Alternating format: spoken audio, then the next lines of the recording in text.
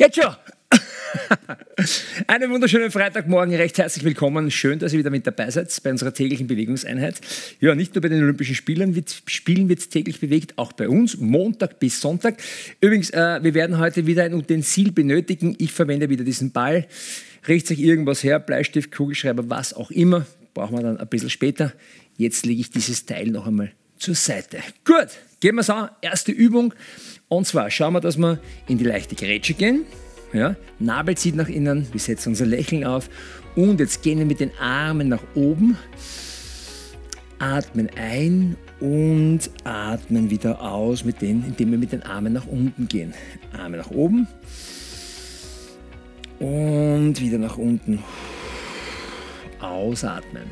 Ich stelle mir persönlich immer vor, beim Ausatmen, ich atme praktisch alles da durch die Fußsohle in den Boden hinein. Atme ein und wieder aus. Und jetzt kann ich das Ganze ein bisschen schwungvoller gestalten. Das heißt, ich gehe dabei auch in die Knie, komme wieder nach oben, öffne. Ja, Mikro muss ich mal richten, sagt man die Regie. Okay, so wieder nach unten. Ja. Und nach oben damit wir mal ankommen.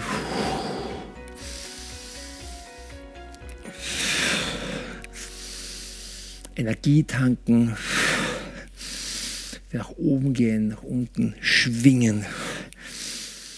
Und kann natürlich jetzt meinen Rhythmus ein bisschen ändern, etwas schneller werden, wenn ich möchte, aber lasst euch Zeit. Oben. Die Aktivierung für die weiteren Übungen heute.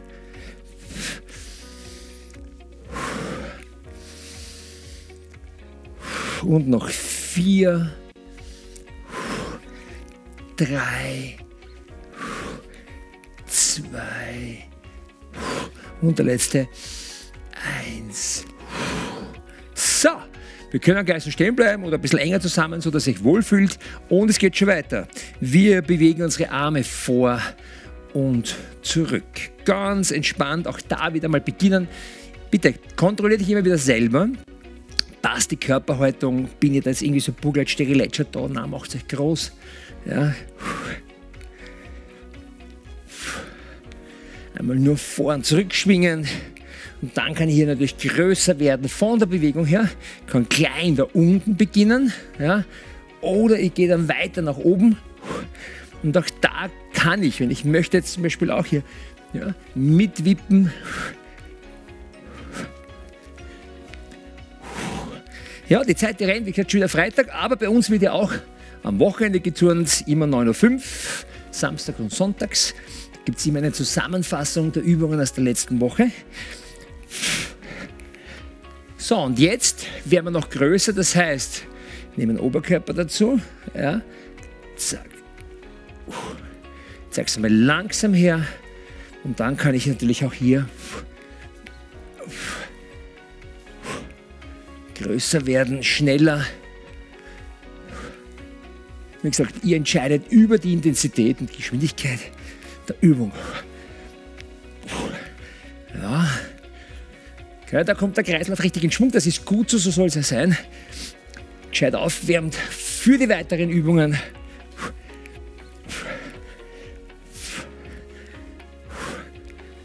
Und wir haben fünf, vier, drei, zwei und eins. Sehr gut, kurz auslockern. Jetzt brauchen wir das Utensil. Ich nehme den Ball. Ihr nehmt sich irgendwas, was herumliegt, oder stellt euch vor, ihr habt etwas in der Hand. Geht genauso gut. So, leichte Grätsche. Und jetzt beginnen wir, unser Utensil hier rund um den Körper, knapp rund um den Körper zu geben, das reisen zu lassen. Ja. Genau da, rundherum eine Richtung, kann natürlich aber dann wieder auch wechseln zwischendurch. Ja. Das ist einmal der Einstieg. Ja. So, und jetzt da zum Beispiel wechsle ich nochmal die Richtung und beginne hier. Ja, genau. Die schön zu kreisen. Hopsi. Ein bisschen botschert am Freitag, der Burle. Das Balli fast verloren. Ja. Klein beginnen kann natürlich ja dann größer werden.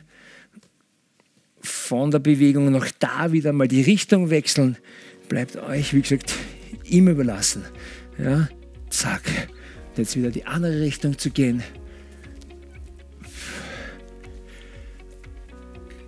Sehr gut. So, nächster Schritt, wir werden eine Spur breiter, nehmen unser Utensil ja, und geben es da unten durch. Von der einen zur anderen Seite. Ja. Und achten aber bei, darauf ist wichtig, dass wir hier den Lastwechsel haben und die Rotation. Das heißt, eins, zwei, warum sage ich das? Oft schon gesehen, dass die Leute so machen. Na, das machen wir nicht, sondern wirklich da die Rotation, rechts, links, der Lastwechsel vom einen aufs andere Bein und dann natürlich in der fortgeschrittenen Variante werde ich hier größer, von meiner Grätsche her werde ich größer. Auch da kann ich mal kurz anhalten, wechsle die Richtung oder unsere Profi-Variante, wir lassen es wirklich hier knapp über Boden kreisen und immer wieder zack, Lastwechsel, Rotation nehmen wir hier mit. Und jetzt wechseln wir einmal die Richtung, Richtungswechsel. Kann auch hier von der Geschwindigkeit her schneller werden natürlich. Ja. Und komme schön langsam hier wieder nach oben. So, den brauchen wir. Und zwar, nächste Geschichte. Arme nach oben mit dem Utensil. Und jetzt geben wir unser Utensil nach unten durch, heben hier das Knie an, geben es durch, ja, können hier groß öffnen und unter dem anderen durchgeben. Ja. Einsteiger beginnen klein, machen wir mal so. Ja. Zack, zack. Dann kann ich größer werden von meiner Bewegung oder richtig schöne, große ausladende Bewegung hier, Bewegungen hier zu machen. Ja, da haben wir das Koordinative auch mit dabei.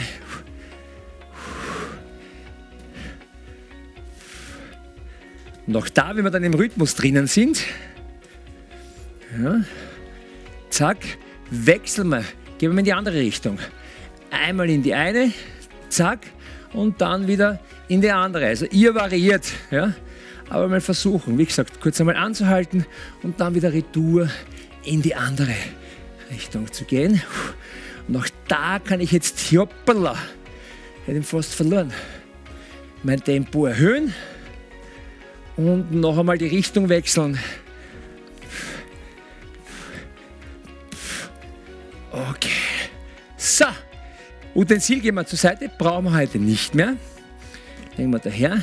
Jetzt ja? Arm 6, dazu leichte Grätsche. Immer darauf achten, ganz wichtig, nicht so gestreckt steif, sondern da ganz leicht. So, jetzt gehen wir nach vorne, unsere Handflächen blicken zueinander, Arme sind gestreckt. Jetzt stellen wir diese auf, Ellbogen gehen nach außen, wir sind in der Hände-Hochposition, sage ich immer, und schieben jetzt die Arme nach oben. Kommen nach unten. Ellbogen wieder zusammen, nach vorne und wieder. Eins, zwei, drei. 4, 5, 6. Deswegen heißt auch die Übung Arm 6. Also 1, 2, 3, 4, 5, 6. Jetzt können wir, wenn wir wollen, versuchen, mal gut verwurzeln, das Ganze einbeinig zu machen. Standbein ist immer wichtig, ja, stabil zu stehen. Und nächster Schritt, linkes Bein zum Beispiel in meinem Fall und rechten Arm. Ja. Zack. Ja, mache ich zum Beispiel zweimal, dann zweimal wieder mit beiden Armen. Und dann noch einmal mit einem. Sehr gut. So, und dann kann ich natürlich immer die Standbeine auch wechseln. Probieren wir das einmal. Auch da zweimal mit beiden Armen. Und jetzt einarmig. Das heißt, rechtes Standbein, linker Arm zweimal und wieder zweimal mit beiden. Keine Sorge, ihr braucht es nicht in meiner Geschwindigkeit machen, jeder für sich in seinem Tempo. Ja. zack, nach oben, sehr gut. Kann natürlich jetzt auch, wenn es mit dem Gleichgewicht noch nicht so hinhaut, kann ich sagen, okay, ich mache auch hier einmal mit beiden, einmal rechts und einmal links, also Möglichkeiten dazu haben wir mehr als genug. So, nächste Übung, was haben wir denn da? Lendenwirbelsäule mobilisieren. Dazu geben wir unsere Hände Richtung Hüfte und jetzt beginnen wir hier sanft einmal zu mobilisieren. Ja, Foto wieder gekriegt und zwar Hallo lieber Philipp, ich habe da unten meinen Schummelzettel liegen. Ähm, ich war schon das eine oder andere Mal bei der vorigen Sendung mit dabei, begeistert, aber speziell seitdem du jetzt bei Krone TV äh, bist, versuche ich wirklich täglich mitzumachen und merke, wie auch meine Kondition besser wird. Alles Gute und weiter so. Ganz liebe Grüße aus Wien, Essling, der Fritz. Haben wir schon gezeigt? Ah, war schon da der Fritz. Ich gar nicht, nein, wie ich geschaut habe, habe ich nicht gesehen. Dankeschön. Ja, vor, zurück. Also da wirklich sanft beginnen einmal vom Einstieg her. Und dann kann ich natürlich hier intensiver werden. Auch nach hinten wieder. Ja. Zack. Die tägliche Mobilisation. Ja, und ich, ich weiß, es ist, es ist schon wieder so einfach, dass es dann schon wieder schwierig wird. Man braucht ja diese Übungen dazwischendurch auch einmal im Alltag irgendwie einfließen zu lassen. Sterne mir kurz auf, mach einmal vor, zurück. Ja. Und dann kann ich schon wieder weitermachen. Ja, so, vor, zurück. Übrigens, äh, ja, ab morgen bin ich im Urlaub. Hm? Aber keine Sorge, wir haben die Sendungen bereits vorab aufgezeichnet, auch die Wochenendsendungen. Ja, das heißt, es wird trotzdem weiter geturnt. Wir haben ja diese Woche mit einem neuen Programm begonnen und äh, wir sehen uns dann wieder live so mh, hm, ab Mitte, Ende August, variieren noch zwei oder drei Wochen. Schauen wir, wo es mich hin verschlägt. Zunächst einmal geht es nach Italien, dann zum MotoGP und dann schauen wir. Und jawohl, vor, zurück. Sehr schön. So, wir kommen zur Mitte. Jetzt geht es Apropos Mitte, um die Körpermitte, um die Stabilität, die Kräftigung. Und zwar unser Knieheber. Dazu ein Bein gut verwurzeln, nimm das linke. Dann verschränke ich die Arme vorne, jetzt hebe ich mein Knie hier an und jetzt neige ich mich nach vorne. Einsteiger, fortgeschrittene Profis. Gehe nach vorne, komme wieder zurück, ziehen das Knie nach oben. Der linke woggelt halt ein bisschen. Ja, gehe nach vorne und ziehe wieder nach oben. Ja, geh nach vorne, Einsteiger, fortgeschrittene Profis und komme wieder nach oben. Zieh nach oben, jawohl, zack. Und da kann ich dann auch zum Beispiel jetzt da eine Wiederholung pro Bein machen, zwei, drei oder vier. Ihr entscheidet, wie es euch geht, ja, je nach Niveau. Und dann wechsle ich einmal. Eins, zwei, drei, schau wie weit komme nach vorne, ziehe wieder nach oben, ja,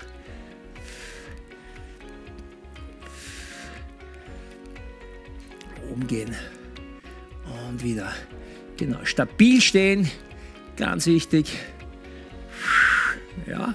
Anderes Bein noch einmal versuchen. Bitte wechselt wirklich selbstständig. Ja. Vorgehen. Wieder nach oben ziehen. Vorne. So, einmal geht's noch. Hoppala. Ja, und einmal wechsle ich noch das Standbein. Ja, das gibt eine Stabilität. Ganz wichtig. Sehr gut. Und der letzte. Und wir kommen schon wieder zur Mitte. So, viele Damen und Herren, die sich unsicher fühlen, können sich gern irgendwo hinten anlehnen, anhalten, also äh, abstützen. Und zwar Knie nach oben ziehen. Das heißt, Einsteigervariante. Ich hebe an, ziehe hier nach oben oder ich umfasse vorne und ziehe dann nach oben. Und da kann ich mich gerne an einen Kastel, an einen Türstock, äh, wo auch immer an der Wand anlehnen. Da haben wir es, Dankeschön. Ja, da nach oben ziehen. Atmung fließt. Ja, da haben auch, wie gesagt, bei diesen Übungen wie zuvor oder jetzt ist halt immer auch das Gleichgewicht mit dabei. Ja, wir machen Beinwechsel, Einsteiger umfassen, also greifen unten hin, fortgeschrittene vorne, am vorne. Ja, fünf, vier, drei, zwei, eins. So, jetzt können wir uns irgendwo festhalten, Sessel, Wand, wie auch immer. Oder, Achtung, und zwar Gesäß, ja, hinterer Oberschenkel, Oberschenkelrückseite. Und zwar Ende der halbe von fest. Ich mache gern so. Jetzt, ja, winkel hier ab, Zehenspitzen ziehen, also Zehenspitzen angezogen, hoppala, sieht man eh gut. Und jetzt ziehe ich hier nach oben. Ja, das ist meine Übung. Ziehe dann nach oben.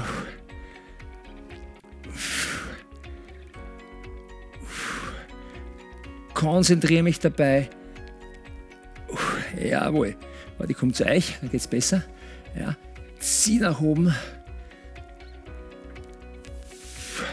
Und noch drei, zwei. Jetzt muss ich aber so seitlich gehen, sonst setze ich das nicht. Hoppala.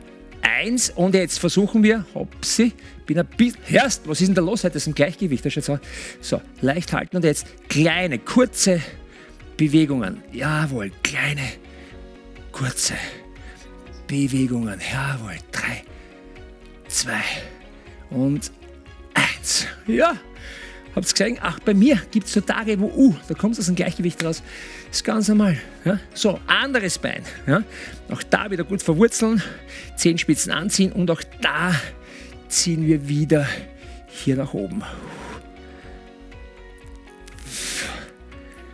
Ja, ihr könnt dazwischen immer wieder natürlich auch euer Standbein wechseln.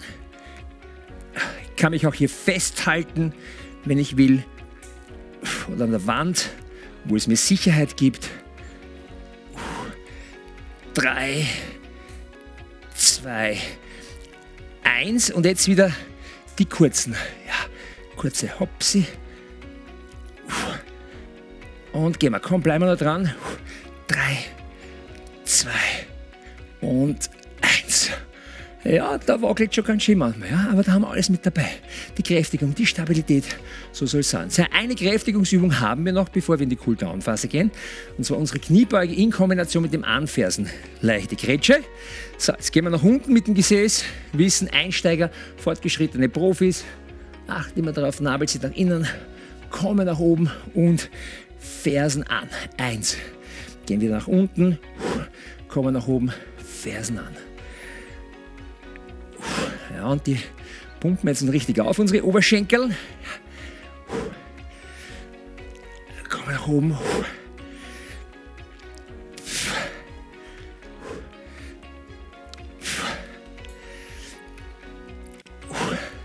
Ja, ich kann Ihnen nur sagen, jetzt, ich schaue mir immer wieder die Quoten auch an. Also ich muss wirklich sagen, ich bin stolz auf euch. Ihr seid ein Wahnsinn. Richtig fleißig und brav. So soll es sein. Also weiter dranbleiben. Ihr wisst, das ist genau die Regelmäßigkeit und nach unten. Schon, komm nach oben, anfersen. Ja, überprüft euch immer wieder selber, passt es, ist der Rücken gerade, zieht der Nabel Richtung Wirbelsäule. Ja, und dementsprechend gehe nach unten und dann schiebe ich nach oben und Ferse an. Und nächstes. Und geht schon, komm. Wir haben noch sieben, sechs, fünf, vier, drei,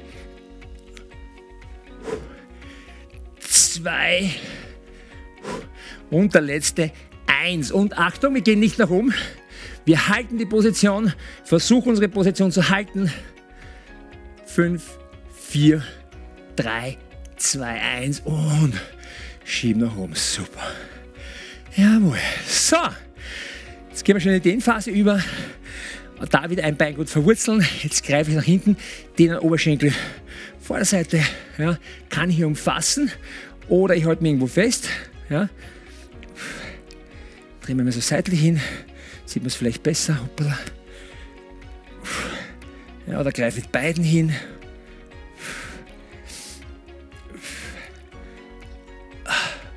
Dann wechsle ich anderes Bein, halte mich fest oder auch nicht. Greife eins, dann greife nach hinten zwei. Hopsi, da muss man richtig ausgleichen. Kurz halten in der Position. So, jetzt wollen wir die Rückseite, das heißt Ferse im Boden hinein, das hintere Knie leicht abgewinkelt und jetzt neige ich, gehe ich da nach vorne und genau da hinten wollen wir die, Dehnung spüren. So, wir wechseln unser Bein. Vielleicht können wir gleich in die andere Kamera auch gehen. Ja. Ja, ich sage einmal, ja, danke ans Teil. Freue mich jetzt einmal auf meinen Urlaub. Ihr bitte bleibt fleißig mit dabei. Ja. Wie gesagt, ab ca. Mitte, hm, Ende, spätestens Ende, na, drei, zwei bis drei Wochen bin ich jetzt nicht da. Und dann tun wir wieder live, aber aufgezeichnet ist alles, auch für die Wochenenden ist alles vorbereitet. Und äh, in diesem Sinne alles Liebe, wir kommen nach oben. Ich sage danke fürs Mitmachen, wünsche ein wunderschönes und äh, trinken, trinken, trinken. Die Zelle, die muss schwimmen.